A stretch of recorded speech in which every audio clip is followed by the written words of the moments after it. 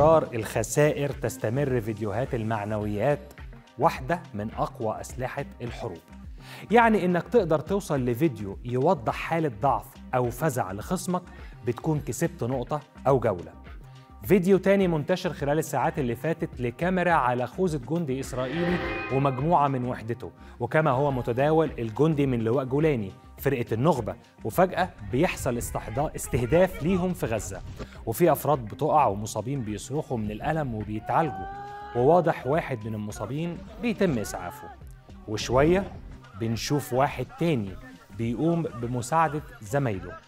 طبعا الضربة مباشرة وقوية. السؤال الأهم هي الفيديوهات دي مين بيطلعها؟ وإزاي وصلت للسوشيال ميديا؟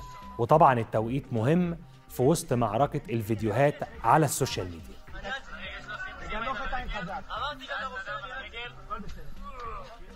طبعا التعليقات كانت كتيرة لا زالت الفيديو من على خوذة عسكري من الجو من داخل غزة والقصف أمامهم.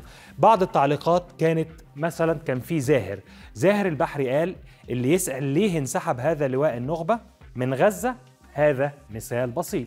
حسام كمان قدم وصف يعني بشكل أدق شوية وقال أعتقد قذيفة هاون لو كانت مضاد دروع كان راحوا فيها كلهم. عنده خبرة شوية حسام. كمان كان في تعليق من حساب باسم سبق بهبري واللي واضح عنده اطلاعه العسكري زي ما بيقول هو قال من معرفتي العسكرية كضابط ركن لا يتم سحب لواء من القتال إلا لأحد الأسباب التالية اقتناع القيادة الجازم بعجزه عن تنفيذ المهام الموكلة إليه تعرضه لخسائر جسيمة أو انهيار معنوياته عجز قياداته عن تأمين متطلبات مهامه لوجستيا وتعويض خسائره البشرية توقع خسائر بشرية جسيمة وشيكة.